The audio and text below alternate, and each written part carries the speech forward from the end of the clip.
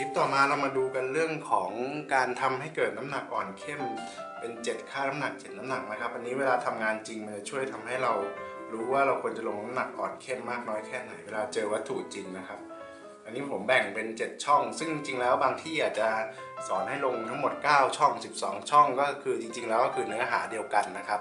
เพียงแต่ว่าผมจะให้แบ่ง7จะได้แบบว่าไม่ต้องแบ่งกันย่อยมากนัก แล้วมันก็จะเป็นเรื่องยากสำหรับคนฝึกใหม่ๆ ช่องที่1เราจะไม่ลงอะไรเลย ช่องที่2เราลงเป็นเทาอ่อนไล่ไปเทาเข้มเทาเข้มขึ้นเข้มขึ้นเรื่อยๆจนช่องที่7เนี่ยคือดำสนิทนะครับ วิธีทำก็ช่องที่1นะครับปล่อยว่างเปล่าไว้เลยครับ ส่วนช่องที่2เนี่ยลงเป็นเทาบางๆ ใช้วิธีจับดินสอเหมือนเดิม ถูซ้ำๆนะครับ เราต้องการแค่ความเรียบในช่องแต่ช่องเท่านั้น ไม่ได้ต้องการให้เกิดมีความอ่อนเข้มในช่องนั้นทำได้ประมาณสัก 80-90%เปลี่ยนช่องครับ ไม่ต้องไปย้ำที่เดิมจนได้น้ำหนักอย่างที่เราคิดนะครับ เพราะว่าเรายังไม่รู้ว่าน้ำหนักจริงอะมันควรจะประมาณยังไง เราใช้วิธีทำแล้วก็ลองพื้นไปทีละชั้นทีละชั้นก่อน ชั้นต่อมาช่องที่ 4 นะครับ ซึ่งจริงช่องที่ 3 ก็อาจจะยังไม่ค่อยเรียบร้อยเท่าไหร่แต่ว่าเราลงให้มันเต็มๆไว้ก่อน มือนเดิมนะครับ ไม่เอาปลายไม่เอาดินสอไม่เอานิ้วชี้ไปกดอย่างนี้นะครับไม่งั้นมันจะเกิดความด่างได้ง่าย ก็ทำไปจนถึงช่องอ่าช่องที่5นี่ผมทำเร็วนิดนึงนะครับ ใครทำอ่าใครฝึกใหม่ๆ ก็ช้าๆก็ได้นะครับ ค่อยๆทำนะไม่ต้องรีบแล้วก็ช้าแต่ออกมาได้ผลและเข้าใจดีกว่าเร็วแล้วมัน งงและสับสนนะครับทำผิดทำพลาดอะไรเงี้ยเราก็จะไม่รู้ว่าที่มาของมันที่เราทำพลาดเนี่ยเพราะอะไรนะครับก็ไล่ไปถึงช่องที่ 7 ช่องที่ 7 ครับ ช่องที่ 7 ลงดำสนิทเลยดำสนิทเท่าที่ดินสอเราทำได้เลยนะครับ ก็ช่องนี้ไม่ไม่ต้องกลัวเลยว่ามันจะเลอะเทอะหรือว่าอะไรก็เพราะว่าเราต้องการสีดำสนิทของดินสอแท่งนี้ ว่ามันดำที่สุดแค่ไหนกดให้เต็ม พอกดให้เต็มช่องปั๊บ เราถึงค่อยย้อนกลับมาหาช่องที่ 2 กันใหม่นะครับ เพื่อตรวจงานของเราทีหนึ่งอันนี้พอฝนแรงๆก็จะมีคาร์บอนหลุดออกมาเยอะหน่อยก็เดี๋ยวค่อยปัดทีเดียวนะครับ ก็ระวังมืออย่าให้เป็นถูโดนนะครับ ก็อันนี้ช่องที่ 1 ไม่ต้องลงนะครับ ช่องที่ 2 เราก็ลงให้ต่างช่องที่ 1 นิดนึง ซึ่งในที่นี้เนี่ยเราจะมาซ้ำค่อยๆซ้ำเบา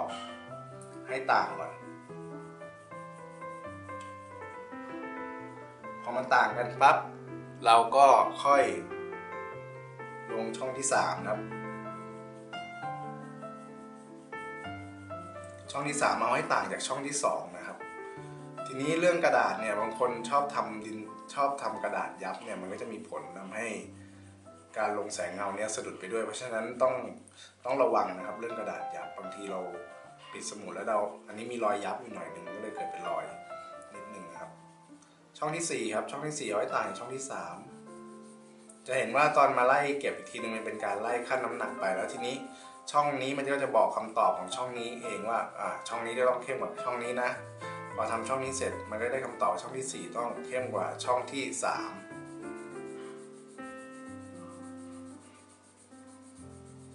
ถูซ้ำๆนะครับ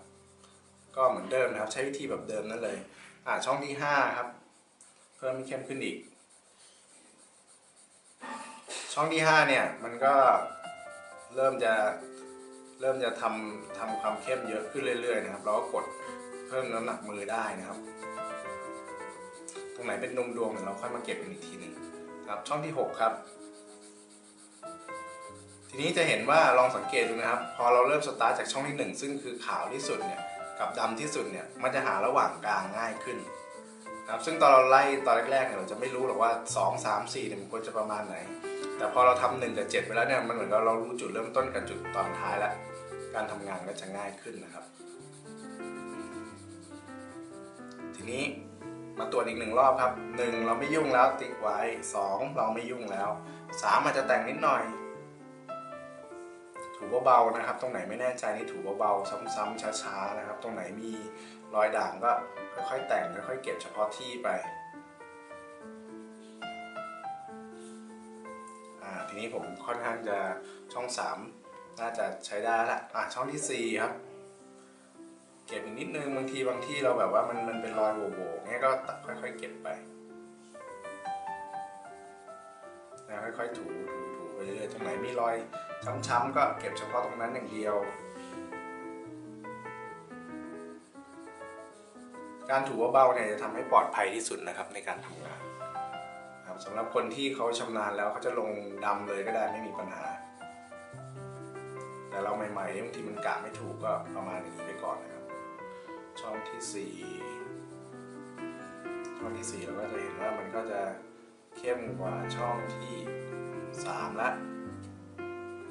ต่อไปช่องที่ห้าครับเก็บไปทีละนิดนะครับ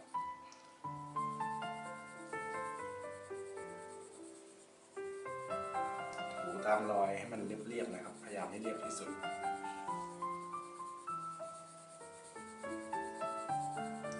ฝนๆเอาตอนนี้ผมจับดินสอเหมือนจับปากกา เพราะว่าแถวนี้พื้นที่มันค่อนข้างจะ ต้องการความเข้มนะ เราก็ไม่ต้องระวังอะไรมาก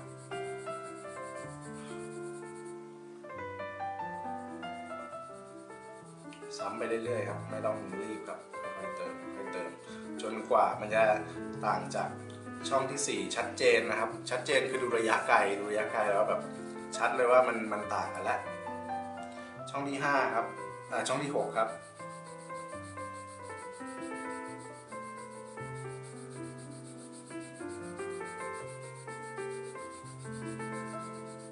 อทำอย่างนี้เสร็จเนี่ยเราจะตรวจอีกหลาย ๆ รอบก็ได้ ค่อย ๆทำค่อย ๆ ฝนก็ได้นะครับอ่าเราก็ทำวนๆซ้ำๆแล้วก็ตรวจไปเรื่อยๆนะครับเราก็จะได้เราจะเราก็จะเห็นภาพออกมาชัดเจนและดูระยะไกลให้แต่ละช่องต่างกันนะครับ ก็จะได้เวลาเราทำงานเราได้มีตัวมีตารางไว้เทียบว่าเราควรจะลงน้ำหนักประมาณไหนในการทำงานนะครับ ก็สำหรับคลิปนี้จบเท่านี้ครับผม